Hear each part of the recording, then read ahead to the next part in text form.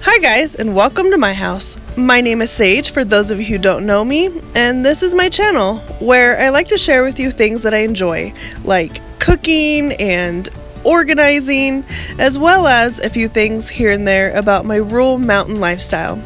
So come on in and let's see what we can get up to today.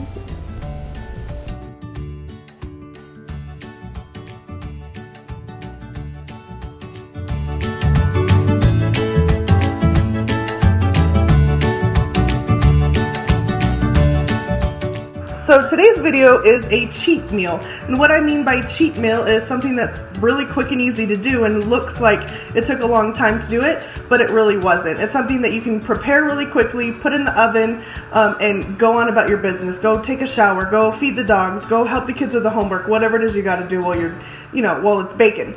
So it is a cheat on chicken pot pie, and I'm using some leftover chicken that I have that's called Oh My God Good Chicken. I have a, a recipe video for it already. Um, I'll leave a link down below if you haven't tried it. It's super good. Um, we're gonna be using this, some canned vegetables, puff pastry, flour, and egg wash, and I'm going to spray my Corningware. So let's get started. So I'm gonna start by spraying my pan. You can use butter if you want to, but because this is a nice quick cheat meal, I'm just spraying. And then I have here my Oh My God Good chicken. So because this is already so thick, we don't have to make a roux like you would traditionally in a um, in chicken pot pie. This is already thickened. We're not going to try to thicken it. All I'm going to do is add some vegetables.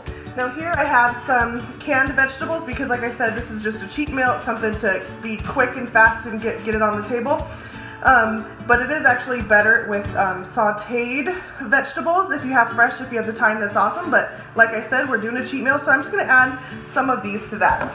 So I'm going to take my pan here. I just, um, I just oiled it, and I'm going to put some in the bottom until I think that it's sufficient. I don't want to dump it all in there because I can actually freeze what's left over in this and use it in a different application later. And this here, I'm going to add some vegetables. So I'm not going to add the whole can because I don't need a whole can. I'm just going to add what I think gives it enough color and, you know, pop and flavor. I'm not going to overdo it. So I don't think that's quite enough. I think I'm going to add a little bit more. I have here some black pepper. I'm gonna add that, you know, pretty good amount. I'm not gonna add salt because it is already kind of salty. And I'm gonna add some Old Bay. I know that sounds weird, but remember chicken and Old Bay are good friends. And I'm literally going to add the tiniest bit of onion powder just to give it a hint of onion because I'm not putting any sauteed onions in there. I'm just gonna mix her up. And truth be told, you don't even really have to add the extra spices. This chicken is already flavorful enough. Okay, so I'm gonna level it out here. And then I'm going to take my puff pastry here, and I'm going to open up my sleeve. I'm gonna lightly flour my surface here. I'm also going to flour my grandma's rolling pin. And I'm gonna get out a sheet of puff pastry. It comes with two, but I'm only going to use one. And I'm going to use a little more flour on it because um, I want this to be thinned out a little bit. It doesn't quite fit my my um, dish, so I want it to be a little bit bigger. And I'm going to go one direction, and then I'm going to go the other direction. I want it to be even. One direction, and then the other direction.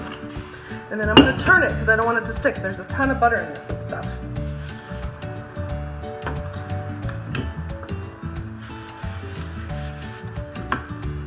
I'm to go one direction and one direction. Okay, now that I have that, yep, looks good to me. I'm going to set that aside and bring over my dish here. And this is where the egg wash comes into play. I'm actually going to take my egg wash and I'm going to just get the sides of the cooking vessel. Doesn't have to be a lot, it's just got to be enough to help it stick to the side. And then I'm just going to take my puff pastry and lay it right over the top. Like so. And then I'm just going to kind of smush it on the sides. I want it to stick. I'm to stretch it over, stretch it over. So this little extra piece that hangs off, I'm actually just going to trim off the bottom part um, so that it doesn't completely touch the bottom.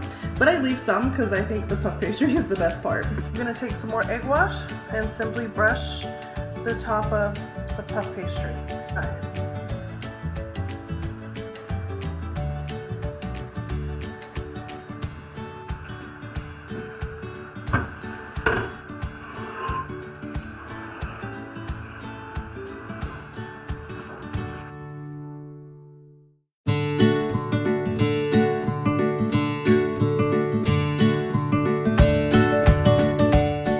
Well, I hoped you liked this video. If you did, please give it a thumbs up and consider subscribing to my channel so you don't miss out on any of the fun. Feel free to share my video on all of your social media and join me on mine. I'd love to see you there. And don't forget to check out my video on the original recipe of Oh My God Good Chicken. It's super rich, ridiculously easy, and I've literally never met anybody who didn't love it. The link for the video is in the description box below. Well, thanks for stopping by my house. I'll see you next time.